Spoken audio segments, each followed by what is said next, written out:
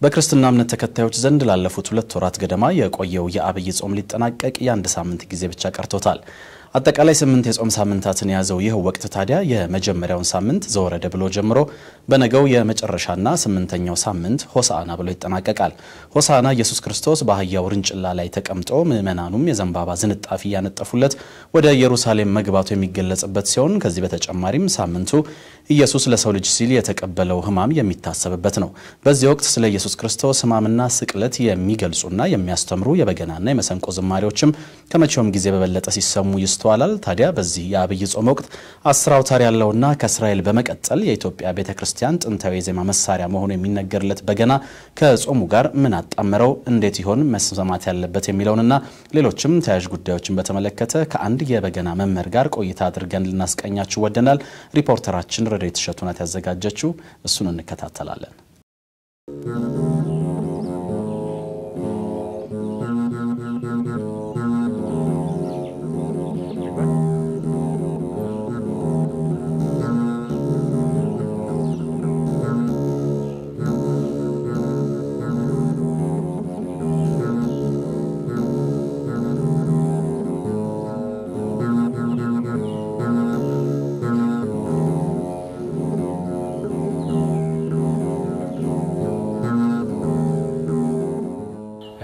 ዲያቆን ዮሴፍ ከተማ እባላለሁኝ።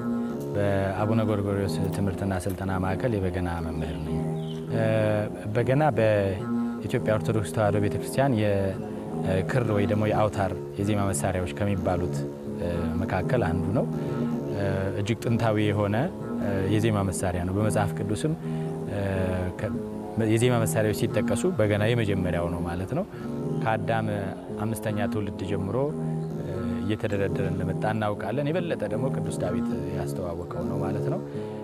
እንደዚሁም በራዕየ ዮሐንስ ምዕራፍ አምስት ጀምሮ እንደምናነበው በሰማይም 24ቱ ካህናተ ሰማይ የሱራፌል ነገድ የሆኑ መላእክት ማለት ነው የእግዚአብሔርን ዙፋን ዙፋኑን ከበው እንደሚያመሰግኑበት ይናገራል። በኢትዮጵያውያንም እንደዚሁ ከታቦተ ጽዮን ጋር ነው የመጣው የሚል አለ። ከዛ በፊትም ደግሞ እዚህ ስለመኖሩ የሚቀርቡ ማስረጃዎች አሉ።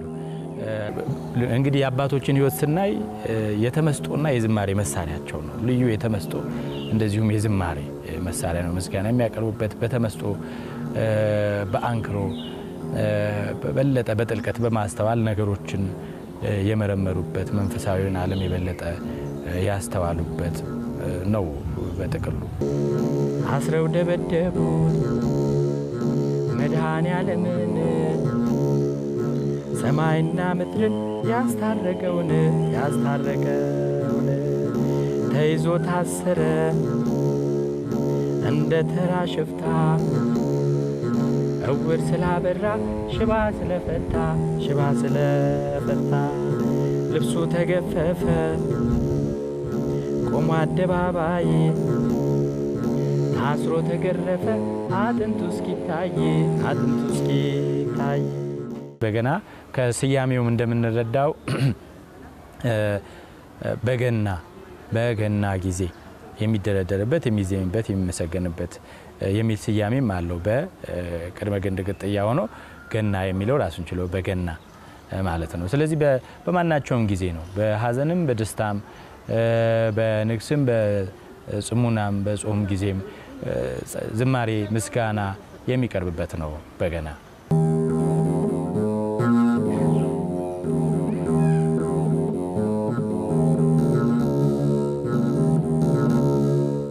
በገና በዋናነት ያው ሁለት ግብአቶች ናቸው ያሉት የእንስሳትና የእጽዋት ግብአት ነው ያለው ማለት ነው።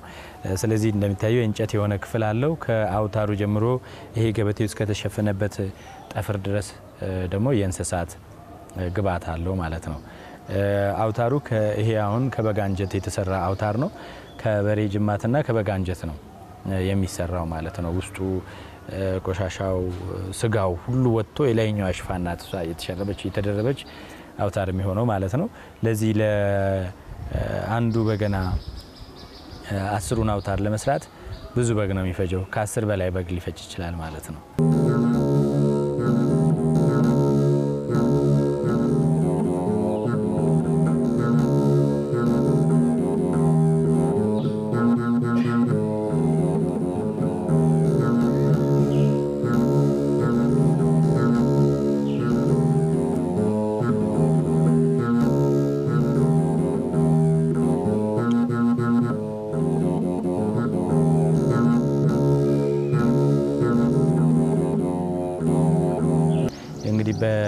ሊቃውንቱ በሁለት ይከፈላል ነው። አንደኛው ዓለማዊ ዜማ ነው፣ ሌላኛው መንፈሳዊ ዜማ ነው የምንለው ነው። ራሱ መንፈሳዊ ዓለማዊ ዜማ የምንለው ቤተክርስቲያን የማትቀበለው ምንድን ነው? መነሻቸውንም መድረሻቸውንም ስጋዊ ያደረጉ ከአምላካዊ መንፈሳዊ አስተሳሰብ አስተምህሮ ጋር ተቃርኖ ያላቸው ለሰው ልጅም ጊዜያዊ ስሜትን እንዲሁ ከንቱ ነገሮችን እንጂ በሚጠቅመው ስብዕናውን ያጣውን እግዚአብሔርን መምሰል ወደ እግዚአብሔርን ወደ መምሰል የማያሳድጉት ጉዳዮች ላይ የሚያተኩሩ ዜማዎችን ነው ዓለማውያን ብለን የምንጠራቸው። መንፈሳዊው ዜማ ያው የቤተ ክርስቲያን ዜማ የቅዱስ ያሬድ ዜማ ነው። ሌላ ደግሞ ባህላዊ ዜማ የምንለው አለ ማለት ነው። በገና ሁለቱን ይጋራል። እነዚህ ያሬዳዊውንም ዜማ ይጋራል፣ እንደገና ባህላዊ ዜማ የምንለውንም ይጋራል። ይሄ ባህላዊ ዜማ የምንለው ቤተክርስቲያን የማትነቅፈው በማህበረሰቡ በባህሉ በእሴት ውስጥ ያሉ ገበሬው ሲያርስ ሲወቃ የሚጠቀምባቸው በህብረት ስራ ሲሰሩ ለማበረታታት የሚጠቀሙባቸው ሀገር ስትወረር ጠላት በሚነሳበት ጊዜ ዜጎች ሀገራቸውን፣ ሃይማኖታቸውን እንዲከላከሉ የሚያነሳሱበት ቀረርቶ፣ ሽለላው፣ ፉከራ ሁሉ በአግባቡ ፈሪሃ እግዚአብሔር ባለበት መንገድ ስራ ላይ እስከዋለ ድረስ የማይነቀፍ ነው ማለት ነው። ያሬዳዊው ዜማ አለ፣ ባህላዊውም ዜማ ሁለቱንም ይጠቀማል በገና ማለት ነው። መዲና ዘለሰኛ የምንላቸው ባህላዊው ከባህላዊው የምንወስደው ዜማ ነው። በዛም ውስጥ ሆኖ ደግሞ ያሬዳዊው ዜማ ደግሞ አለ ማለት ነው። የመዲናና ዘለሰኛ አይነት ድርደራ ካላቸው መዝሙሮች እንዲሁ ለማሳያ ያህል ወንድሜ ጠፍቶኝ ከሚለው እናያለን ማለት ነው። ወንድሜ ጠፍቶኝ ስሄድ ነብር አግኝቶኝ ከመንገድ አልተመለስኩም። በዚያው ሄድኩ እኔን ይብላኝ እያልኩ አልተመለስኩም።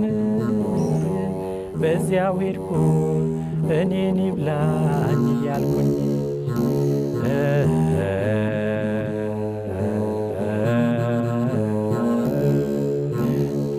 ሰላምታ በመባል ከሚታወቁት ወንጌሉን የወንጌሉን ክፍል የሚተርኩ ደግሞ አሉ ማለት ነው።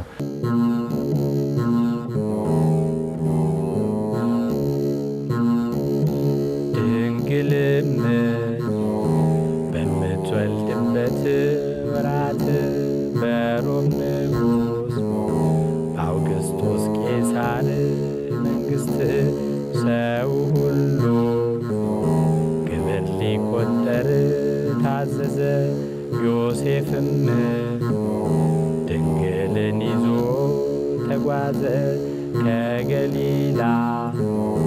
ከነበረበት መንደር ቤተልሔም ወደምትባል ሀገር ከኤፍራታ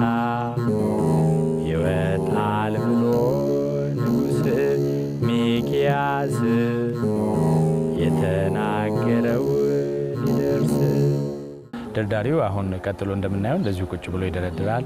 የታዳሚው የሚሰማው ሰውም ውዝዋዜ፣ እንቅስቃሴ እንደዚህ አይነት ነገሮች ያው ዜማውን ዝማሬውን ስለማይጋብዝ ቁጭ ብሎ መስማት ነው። መስማት ማድመጥ ያስፈልጋል ማለት ነው። ምንድን ነው ቃሉ የሚለው በዛ ውስጥ እየተላለፈ ያለው መልእክት የሚለውን ለእያንዳንዱ ቃል ትኩረት ስንሰጥ ነው የበለጠ ተገቢ የሆነውን ስሜት ተመስጦ ማግኘት የምንችለው ማለት ነው። በውስጡ እየተላለፈ ያለው መልእክት እየተነገረ ያለው ቃል ምንድን ነው የሚለውን ማስተዋል ስንችል ማለት ነው። በተለይ በገና መዝሙራት እንደዛ ናቸው። ቅኔ ያዘል ናቸው። ሰምና ወርቅ ናቸው ብዙዎቹ። እንደዛ ያለ ጠባይ ያላቸው የሌላቸውም አሉ። ግን እነዛን ደግሞ ስንሰማ የሊቃውንቱ ምናባቸው የት ድረስ የሄደ እንደሆነ በጣም በሚያስገርም በሚያስደንቅ ሁኔታ ነው ብዙ ነገር የምናገኝበት ማለት ነው። ወዳጄ ወዳጄ ወዳጄ ወዳጄ ወዳጅ ያዝናል እንጂ መቻ አብሮ ይሞታል። ከደከድዬ በዚሁ ይካተታል በዚህ ይካተታል። እስቲ በስማም ብዬ ሰላምታ ላድርስ። ለአብና ለወልድ ለመንፈስ ቅዱስ ለመንፈስ ቅዱስ ደግሞም ላመስግን ብዬ ሃሌሉያ። አቤቱ አድነኝ ከዓለም ገበያ ከዓለም ገበያ። አስረው ደበደቡት መድኃኔ ዓለምን ሰማይና ምድርን ያስታረቀውን ያስታረቀውን ተይዞ ታሰረ። እንደ ተራ ሽፍታ እውር ስላበራ ሽባ ስለፈታ ሽባ ስለፈታ ልብሱ ተገፈፈ። ቆሞ አደባባይ ታስሮ ተገረፈ። አጥንቱ እስኪታይ አጥንቱ እስኪታይ የሾህ አክሊል ደፍተው ተዘባበቱበት። እንደ ወንጀለኛ ሳይኖርበት ጥፋት ሳይኖርበት ጥፋት። ደብድበው ሰቀሉት መድኃኔ ዓለምን ምንድነው ጥፋቱ? ከቶ ምን ይሆን? ከቶ ምን ይሆን ቅዱሳት እጆቹ ተቸንክረው ዋሉ ቅዱሳት እግሮቹ ተቸንክረው ዋሉ በጣም አልቅሱለት ሰዎች ወዮ በሉ ሰዎች ወዮ በሉ እስራኤልን መና